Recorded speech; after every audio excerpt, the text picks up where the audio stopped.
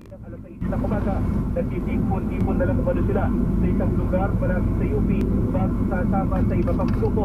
Maliban sa mga siklista na magsasagawa ng protesta, meron na rin iba't ibang grupo na Mas mo na lang, nagtitipon mas. ngayon dito sa. University. Ay, ito na ba ang episode na sa wakas magiging makatotohanang trip sa traffic.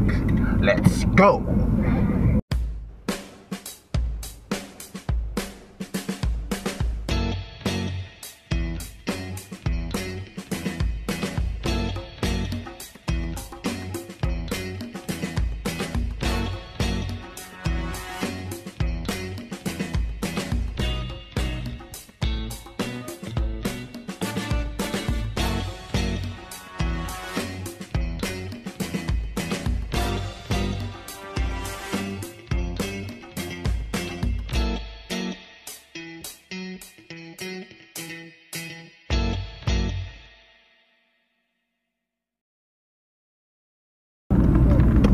Is Independence Day. It's a Friday, long weekend.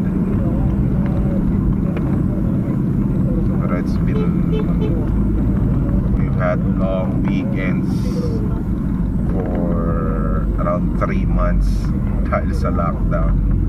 We've been on long weekend far too long.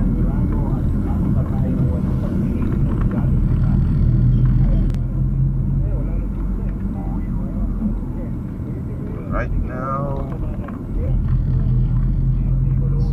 ang biyahe.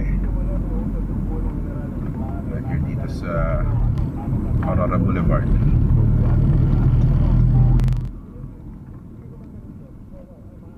Clearing difference, marami nagbabike. Yes, that is true. Marami mga bikers.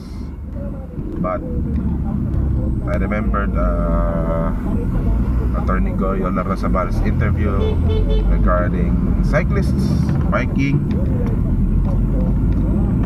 Yes, it is a very, very nice way of nice mode of transportation. I myself want to be a biker. I want to have a bike. Pero like what everyone says, with a great bike comes great responsibility. Kailangan alam din nila ang mga rules sa kalsada.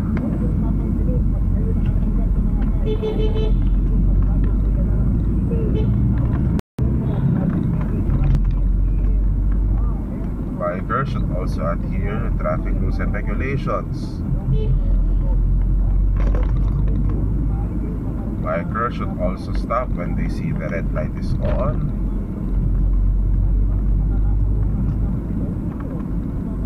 Bikers should also stay on places where they are not obstructing other vehicles or people.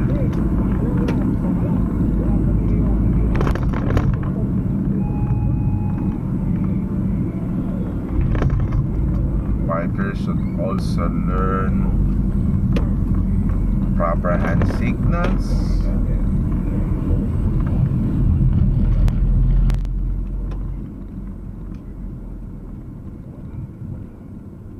Most of all, bikers should also practice safety when riding. Like a nakitang biker, walang helmet, walang elbow pads, walang knee pads, walang shin guards.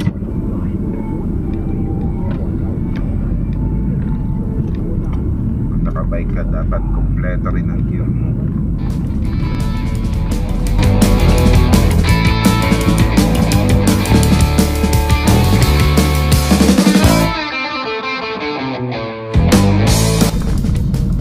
So I attempted to do what most people what most broadcasters do during the lockdown period is yung mag kwento, just sit in front of the camera and magkwento. For in my part, I attempted na magkwento and magturo on how to do game announcing. if anything, I'm really willing to learn or really willing to teach about game announcing. Anything, marami akong tin marami na akong tinuruan mag ano, mag uh, barker. And awa naman ng Diyos, ayun, uh, right now, hindi lang nahinto siguro yung mga liga, malamang na nagbabarker din sila, nagbabarker din sila ngayon sa iba't ibang liga.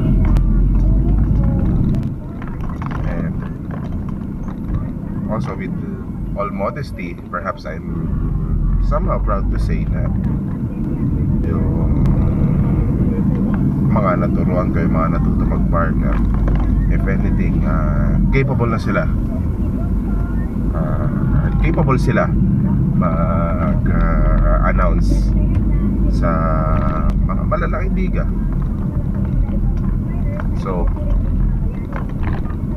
I attempted to recreate that whole thing pero the difference is yung mga tinuruan ko na mag-announce na nakapag-announce kayo sa mga liga I taught them while a game is ongoing. So doon may ginagawa akong laro may binabarkeran akong laro tapos nandun sila nag-observe uh, they're watching closely the game and what I do.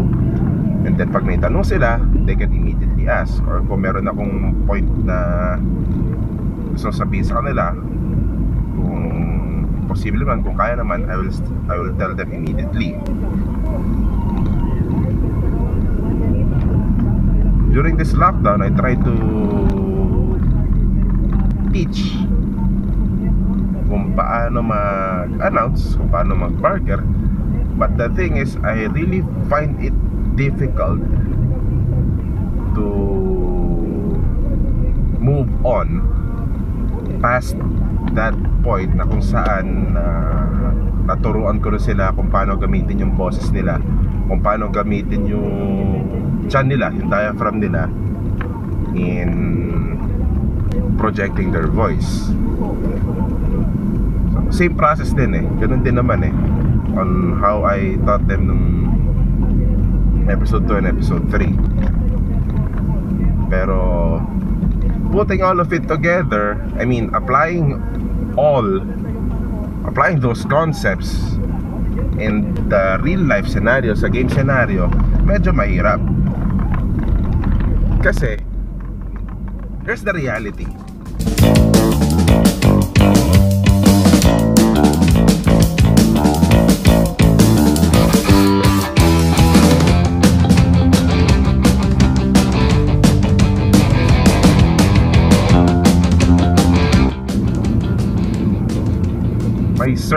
pressure na kaakibat yung pagiging game announcer eh, because dahil nga parte ka ng mga uh, officials that are administering the game. So merong pressure nandun yung takot na ayaw magkamali na nandun yung magiging maingat ka. So once that game starts nandun na yung cue mo para magsalita. Ikaw na yung mag-open ng laro. Ang magiging priority ng utak mo in conducting, in conducting that game is huwag ka magkamali.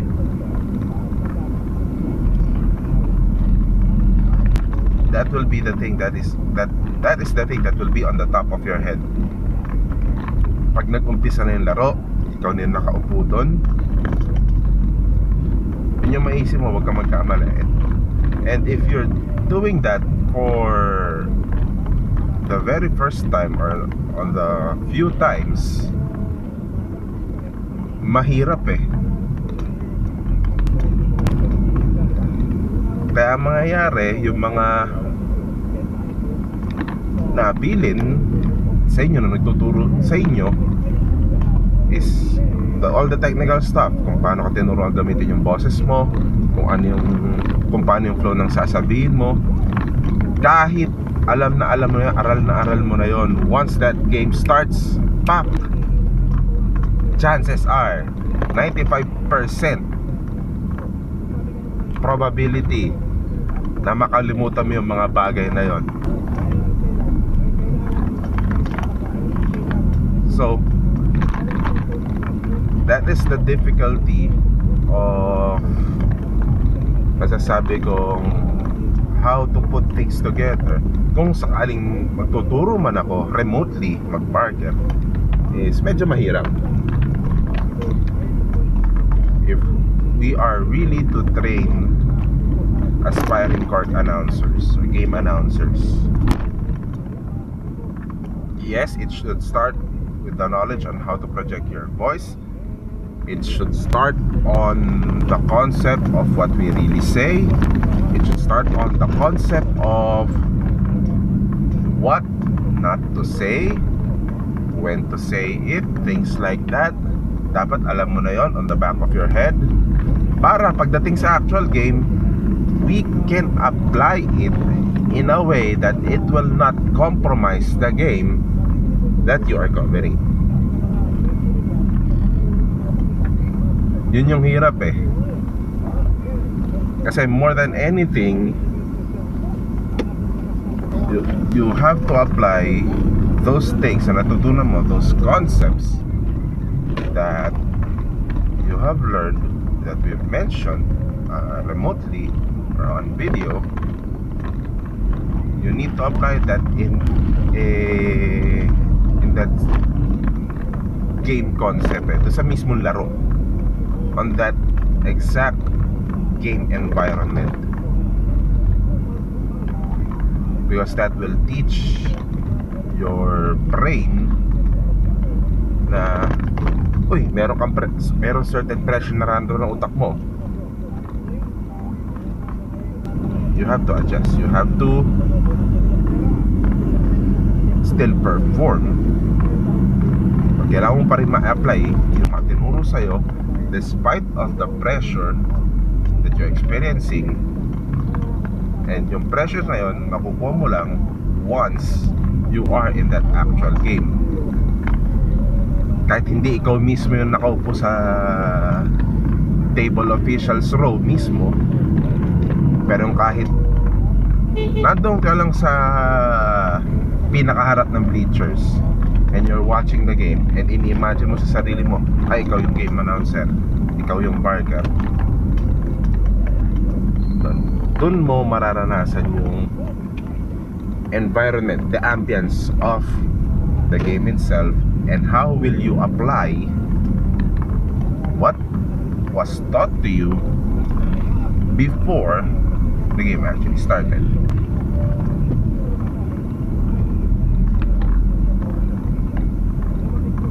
ang labo ng thoughts ko. Ganun kasi kahirap. Bottom line if I am really to teach you on how to do game announcing we need basketball to come back first or or we need sports to come back first.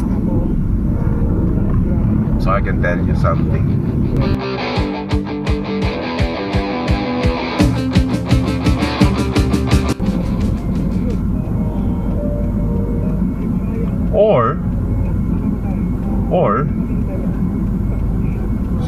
unti-unting nabubuhay yung konsepto ng trip sa traffic.